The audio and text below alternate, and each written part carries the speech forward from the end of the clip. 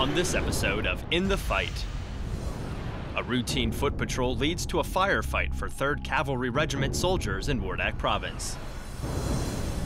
Soldiers on the ground and airmen in the sky team up for coordinated attacks. An eight man Marine team provides fresh water to an entire base in the Afghanistan desert. Aircraft rescue firefighters train to be the first on the scene in Japan. And NATO unveils its system to counter the threat of ballistic missiles around the globe.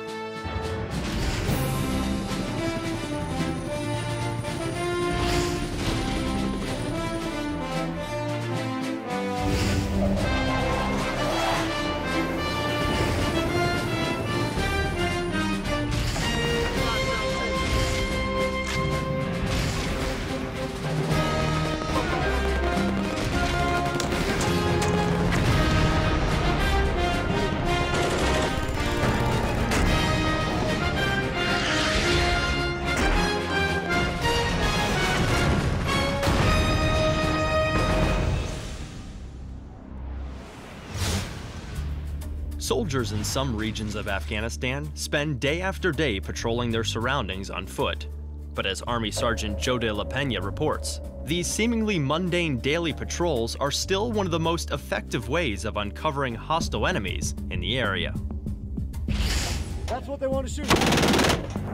At the end of this day, soldiers from Grim Troop of the 3rd Cavalry Regiment had their skills and resolve tested. However, the beginning of this day starts with a typical foot march from Forward Operating Base Airborne that led them here, the Afghan Uniform Police Department in the Maidan Shar district. First Lieutenant Michael B. Matthews, 3rd Platoon Leader of Grim Troop, sits down with the Afghans to discuss the security of the outer laying areas. So Major Halil said that because we were there, we ended up sort of coming at the right time because he had wanted to clear an objective that he suspected was a rocket cache site. So he sent a mounted column down a road into the green zone, which is an area that we can't walk, but they can drive and they often go through as they move. So they attached a guide with us so as we moved up on the mountain to the north. And that's when this normal foot patrol changed into a six-hour battle. The biggest experience was the uh, enemy's TTP. Um, usually they'll shoot at us and then run. This time they actually stayed and fought. It's a new experience for us. Uh, usually it's they take a couple of shots, throw down their weapons, and then walk away, and we're usually unable to identify who might have shot at us. But this time, and they kept engaging us, and we were able to return fire. We were able to uh, fixate the enemy in a one location, uh, and that's the first time we've been able to do that since we've been out here.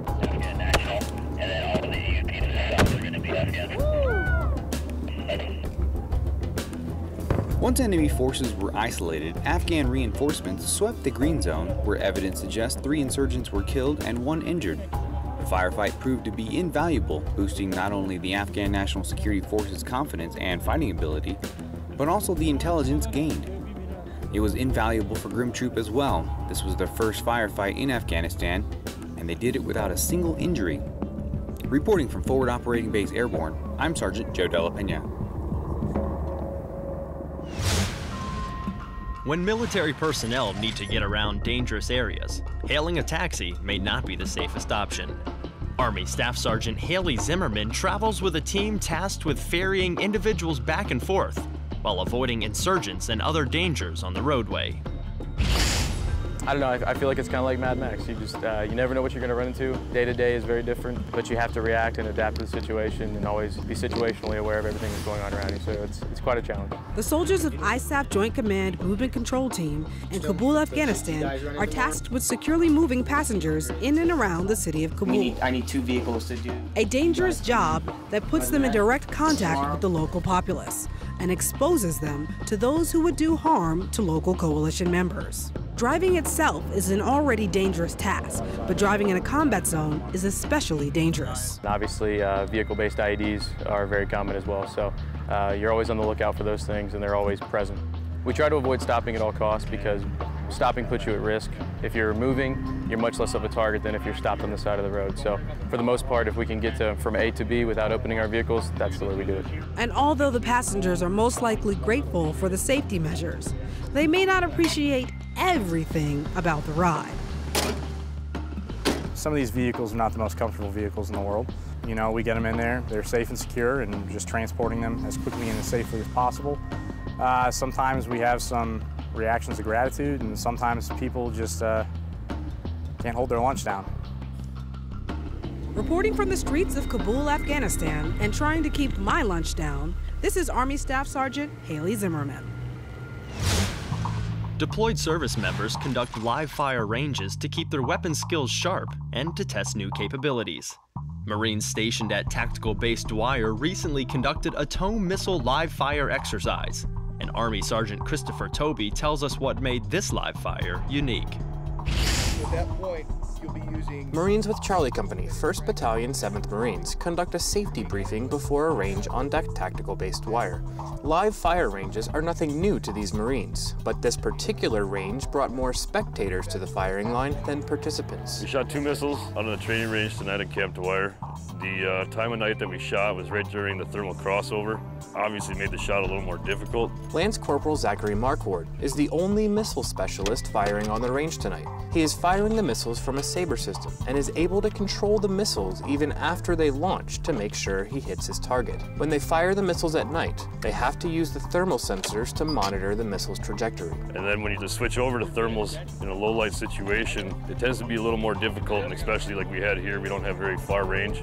The missile leaving the tube out of the Sabre system, it creates like a washout or a whiteout for say on the screen where you can't see anything. Toe the wire, toe the wire, toe the wire! I'd say we did pretty well tonight, and the shot went pretty well. The Sabre system is able to fire multiple different types of TOW missiles and has a highly sensitive thermal lens that is more powerful than many of the unit's other surveillance systems. Charlie Company is the only unit that provides security to TB Dwyer, so the system's capabilities are invaluable to their mission. Being able to control something like that with that much force and that much power is unlike anything that you're ever going to do in your life. And just knowing that you have that capability, it's an opportunity that you're always going to remember. It's an experience of a lifetime. Reporting from Tactical Base Dwyer, I'm Sergeant Christopher Toby. This is Lieutenant Robert Billard in Kandahar, Afghanistan. I just wanted to give a shout out to my wife Kristen and my daughter Asuka living in Okinawa, Japan. I miss you guys. I love you. I can't wait to see you again. Simplify. Hi, I'm Sergeant First Class uh, Felix Gomez from Charlie Company 11 BSTB. Giving a shout out to all my friends back at Fort Riley. They send me some venison and some ducks when I get back. We'll be back real soon. Hi, my name is Sergeant First Class Amy Smith at Kandahar Airfield, Afghanistan. I'd like to say hello to my family back at Fort Hood. I love and miss you guys. Coming up, soldiers and airmen train for coordinated attacks. And Marines provide fresh water in the Afghanistan desert. Check out DVIDSHub.net for the latest accurate and reliable information as In the Fight continues. What does the military acronym for the TOW missile stand for? The answer when we return.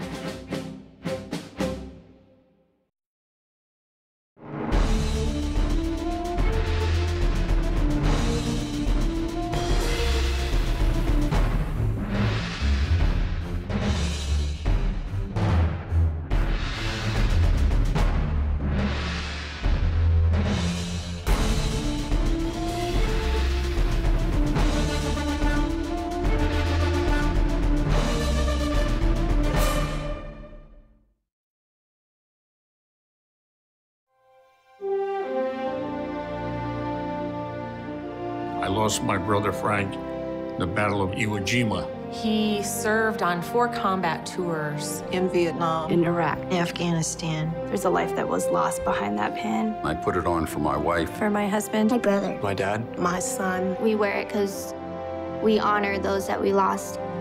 To learn more about the stories behind the Gold Star pins, visit goldstarpins.org.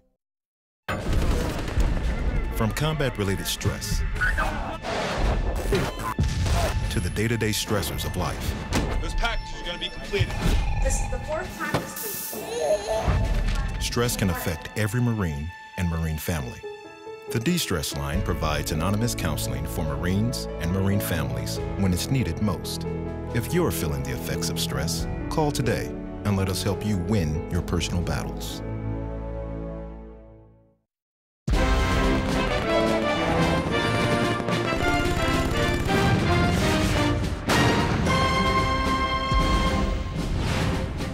What does the acronym TOW stand for? The answer is A, tube launched, optically tracked, wire guided. Soldiers on the ground and airmen in the sky are a deadly combination for enemy combatants. During Exercise Red Flag, Senior Airman Ross Alexander Whitley followed Air National Guard Joint Terminal Attack Controllers, whose job it is to bridge the gap between ground and air, and files this report.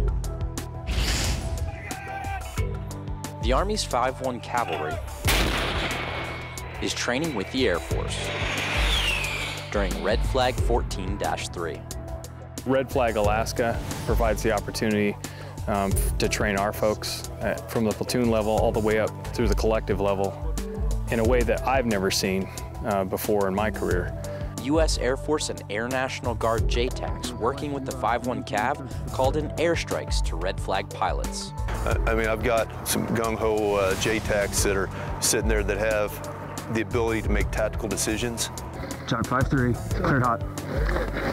And bringing the full might and power of the United States Air Force to bear at the point and choosing of that ground commander so we achieve the effects that he wants. That relationship is critical, and this is one thing that we've learned on the previous deployments. Um, a lot of times you would deploy overseas and they would join you in theater. You didn't have that time to train up with them. And then through exercises like this, you know, the training, synchronization, um, when we deploy, we're just that more, much more effective. Really that that integration um, of all task forces, whether Army, Marines, Air Force, is really what helps us win wars. And um, so exercises like Red Flag are extremely important um, for all of us. Just as, as, an example, the mortars that we were watching uh, fire uh, while the airstrikes were being coordinated, I've been flying an A-10 for at least a year and a half, and that's the first time that I've actually seen that happen. So to actually see that and process that integration uh, is awesome for us as well as for the ARTI guys. From the Yukon training area, I'm Senior Airman Ross Alexander Whitley. Being a first responder in a combat zone requires serious training. 1st Battalion 16th Infantry Regiment soldiers from Fort Riley, Kansas recently participated in a first responder trauma lane. Army Staff Sergeant Noel Gehrig explains in this report. Soldiers assigned to the 1st Battalion 16th Infantry Regiment Iron Rangers participated in a first responders trauma lane at Camp Buehring, Kuwait. The training was designed to enhance proficiency in basic life-saving methods and increase medical proficiency among combat medics. Sergeant Saul Martinez, combat medic with 116 Infantry, explains. We had uh, 18 candidates from uh, Iron Ranger Battalion. They competed in a seven-mile road march, and then we had them do trauma lanes afterwards that consisted of basically going through uh, basic CLS and TC3 events. Tactical Combat Casualty Care is the guidelines, the protocol that we use as medics. It goes through three different phases of care, and we follow those phases of care throughout combat. The first phase is care under fire, tactical field care is the second phase, and then tactical evac is the third phase. So we use that as our guideline as to how to treat casualties. Staying proficient on these skills is vital to every life on the battlefield. Major Tracy Dominguez, Brigade Surgeon with the 1st Armor Brigade Combat Team, tells us why training like this is important. Well, these skills are perishable. Putting on a tourniquet, controlling the bleeding. Uh, if you need a refresh on those skills more than every three months, if you don't continually practice, you won't be ready for the battlefield or combat situation. And especially today's situation where it was done under stress, this is probably the optimum time to train them at when the situation does arise where they need to utilize their skills, they're familiar with it. When it comes to casualties on the battlefield, each passing moment is critical. The skills the Iron Rangers enhance through this training ensures they will have the proficiency required to make every second count. Reporting for the 1st Armored Brigade Combat Team in Camp Buehring, Kuwait, I'm Army Staff Sergeant Noel Gehrig. In the desert environment of Afghanistan, providing fresh water is vital for survival. Army Sergeant Christopher Toby shows us how an eight-man Marine team is responsible for providing this necessity to over a thousand service members and civilians at Tactical Base Dwyer. While the kinetic mission in Afghanistan wraps up and the coalition footprint shrinks, the support mechanisms on remote bases are being manned by skeleton crews. There's eight of us running three sites, so we stay pretty busy, especially when something goes down. It requires all of us to work together to get it back up and running as fast as possible. Corporal DiPlacido is one of only a handful of Marines that provide water, sanitation, and laundry services to Tactical Base Dwyer in southwest Afghanistan.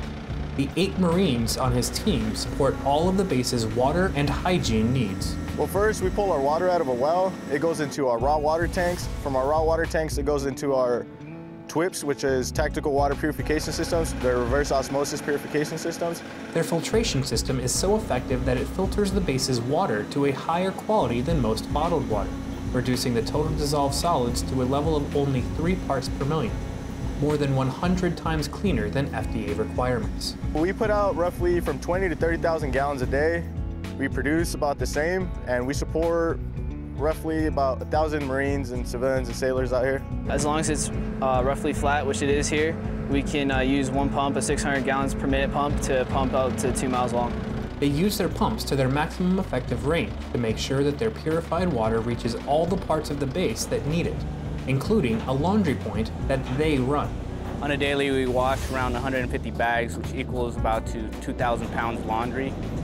The three Marines who are assigned to this post work incredibly quickly. It's more of peace of mind that they can come, uh, bring their laundry here, have it all cleaned, and then have it back the same day. So it's not like they're waiting for a long period of time. Since there's only eight of us, no one can really slack off without affecting the mission and affecting the base. The water they pump is not only for sanitation purposes, but it also enables the chow hall to provide hot meals on a daily basis. While it's incredibly hard work for the small team, they say that they enjoy their mission, particularly in a deployed environment, because they can really see the impact of their efforts. It actually affects Marines out here, and they're very grateful for it, and just hearing them tell us how grateful they are, it really makes me feel better about my job and what I do here. Reporting from Tactical Base Dwyer, I'm Sergeant Christopher Toby. I'm Sergeant Randy Palacios with the 730th Transportation Company stationed in Bagram, Afghanistan. I'd like to give a shout out to my wife, Rosanna, my two little monsters, Jeremiah and Samuel. I love and miss you guys a lot. Hello, everyone. My name is Master Sergeant Antonio Lopez Milner. I'd just like to say hello to my family back in Eden, North Carolina, and my wife and daughter back in Fort Hood, Texas. I love you and I miss you, and I'll be home soon. Hi, my name is POC Dietrich Long. I'm currently here in Kandahar, Afghanistan. I just want to, uh, you know, give a shout out to my family and friends back home in Pennsylvania, and that uh, we'll be home soon. Private First Class Omari Durham with the 876 Engineer Company, currently stationed at Bagram Airfield. I'd like to give a special shout out to my family back home in Atlanta, Georgia, especially my daughter, Cheyenne Durham. Daddy loves you, and I'll be home soon. Coming up, NATO defends against the threat of ballistic missiles. And we'll showcase some of the best photos from our service members as In the Fight, presented by DVIDS, continues.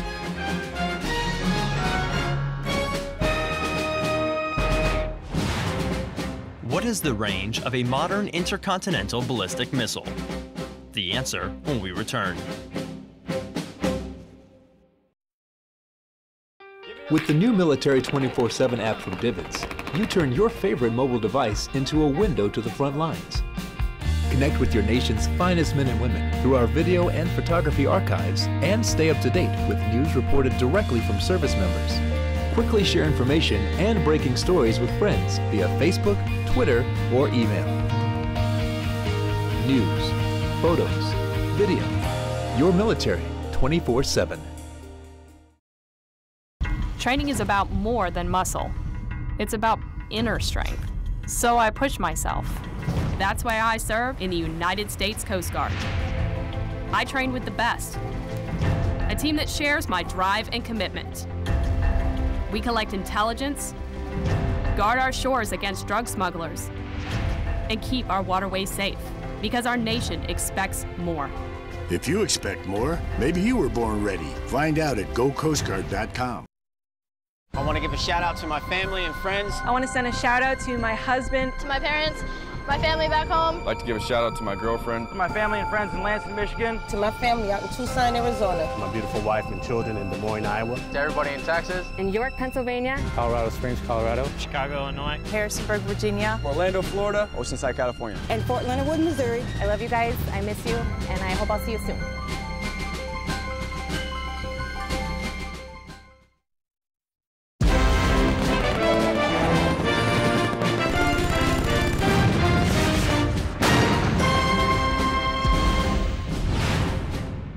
Is the range of a modern intercontinental ballistic missile? The answer is C, 6,000 miles.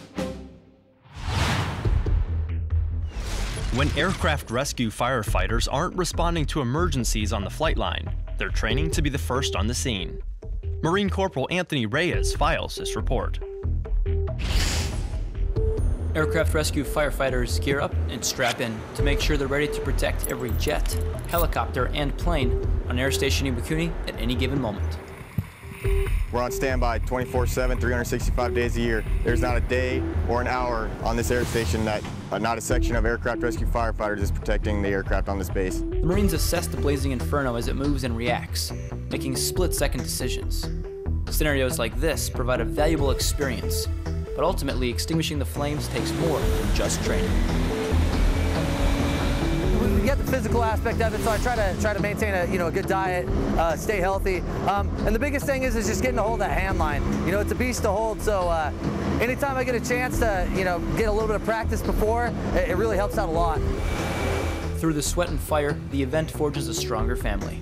I love coming in every day, spending time with my section. You know, I'd say we're probably one of the tightest uh, group of individuals on this base because we literally live, eat, and sleep together almost every day. We all love coming out here. We love playing with real fire. We love doing our job. And this is just great training that, we, that we're fortunate enough to do every month. Reporting from Marine Corps Air Station, Iwakuni, Japan, I'm Corporal Anthony Reyes.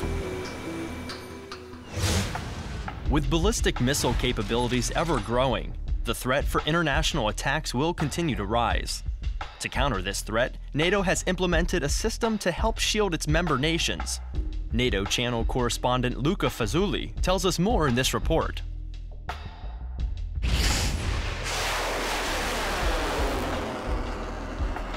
Over 30 countries worldwide have or are acquiring ballistic missile technology that could eventually be used to carry not only conventional warheads, but also weapons of mass destruction.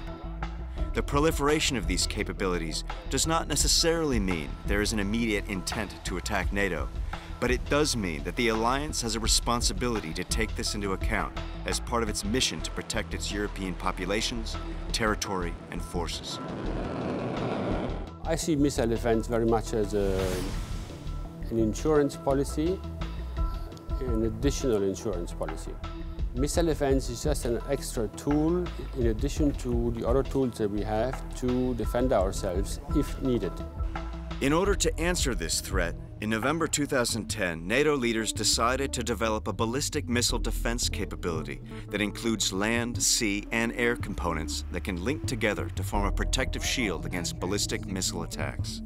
Satellites pick up signals if a ballistic missile is launched from somewhere the radars afterwards pick up the trace of a ballistic missile, and then afterwards, through command and control, uh, you pass on this information to the interceptors that are eventually able to intercept these missiles. These missiles can travel extremely quickly and strike a target anywhere in their range. In the Mediterranean Sea, U.S. ships with a ballistic missile defense capability are on duty 24 hours a day to intercept potential threats that might appear on their radar.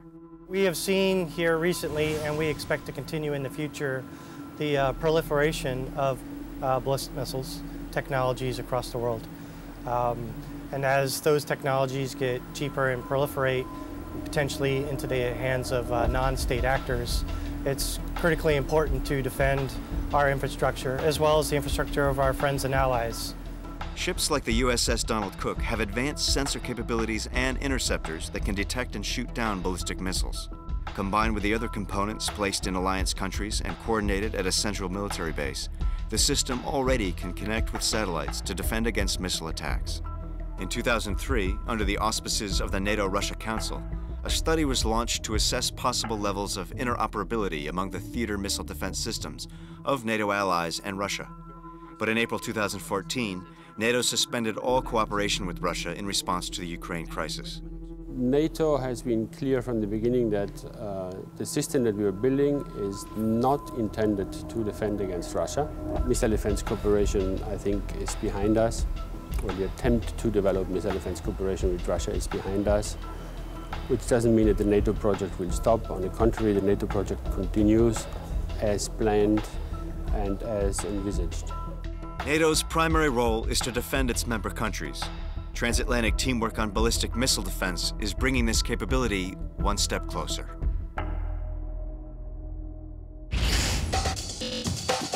DVIDS is a 24-7 operation that provides a timely, accurate, and reliable connection between the media and the military serving worldwide.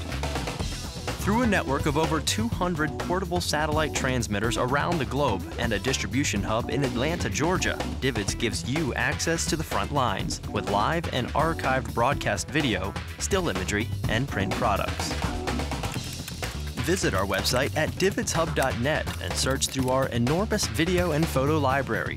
Register on our website to gain complete access to high definition content, along with breaking news alerts and webcasts from top military officials. For questions or comments about In the Fight or DVIDS, you can email us at ondemand at dvidshub.net or follow us on Twitter and Facebook.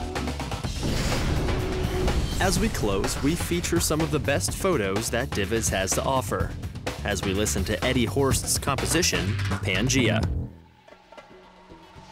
See you next time in the fight.